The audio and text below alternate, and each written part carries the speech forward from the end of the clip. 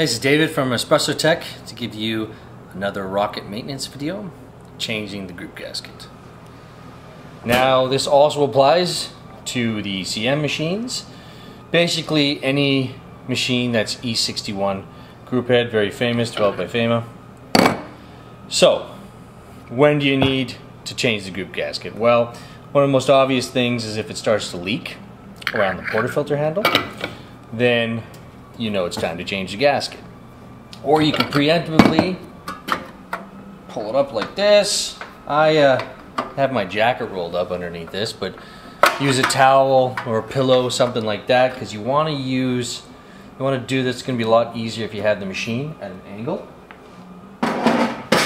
You will notice, unlike most other espresso machines that have a screw holding it into the group head or the diffuser, E61 group head actually uses a compression fit on the gasket to hold the screen in. So you have to take the screen off as well.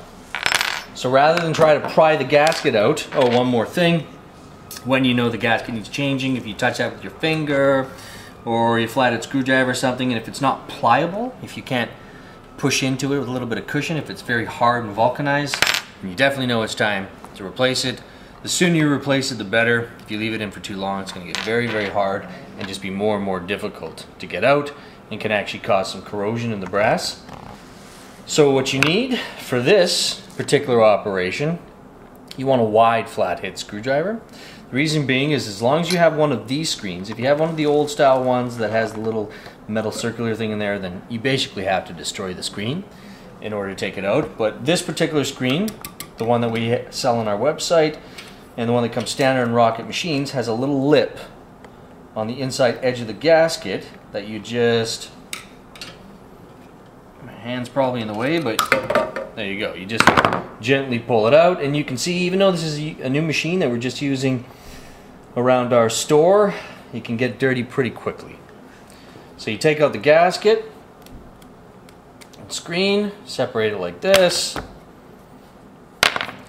Next thing you're going to do is clean the group head. So, if it's really dirty, first thing you should do before you use any clean detergent or water is actually get in there with like a little dental pick, something like this, and get underneath this group head ring, because that's actually where the coffee is going to stick the most. So you want to go around, clean that out as much as you can. Now you can flush this out with water. I like to use a vacuum cleaner. It just works really well. Then after that, you want to take some espresso machine detergent or you can use a little industrial degreaser basically if you really water it down. It actually takes off oil great. Or you can just use some of the standard espresso machine detergent to clean this group head as well. You take this out, well, you see it gets pretty dirty on the inside pretty quick. So I would soak that in some hot water and detergent too. Put that off to the side. Um, new screen, it is a slightly larger than 8 millimeter gasket. So this is the, the rocket gasket, slightly larger than 8 millimeters. When you buy it off our site, we always give you a 0.5 millimeter group spacer just in case to provide that perfect fit. But you can use as an alternate if you know that your group head's a little a little more worn or a little deeper, depending on what machine you have. Like I say, 61 common group head on different machines can get the standard 8.5 millimeter gasket.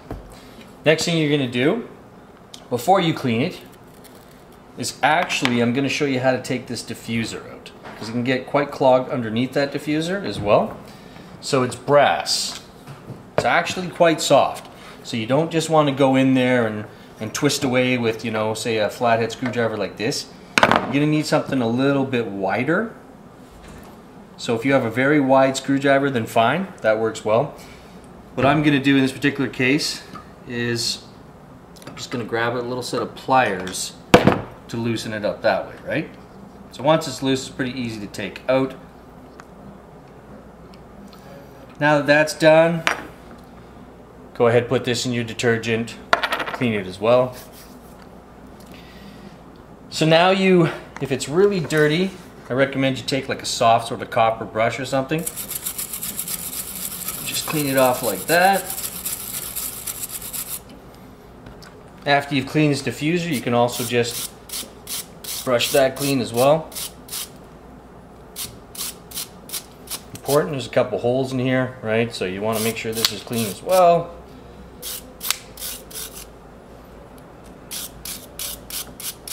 Okay, get some espresso machine detergent. It's gonna do a lot better job getting at the group gasket, clean it all up. Put the diffuser back in.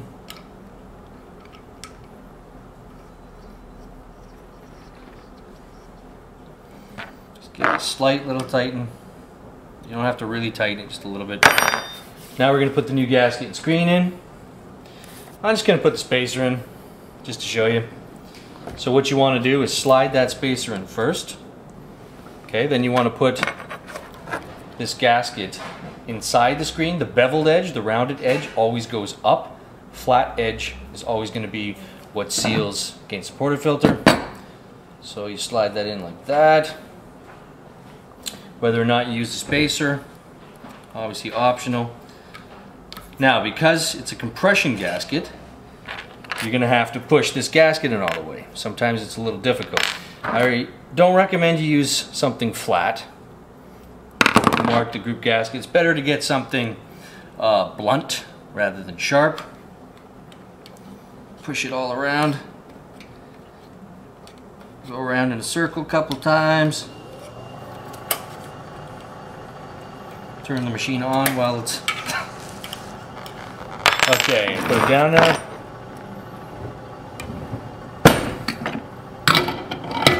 There you go, we got a nice tight fit. You notice that I put, after putting in the little spacer, very straight.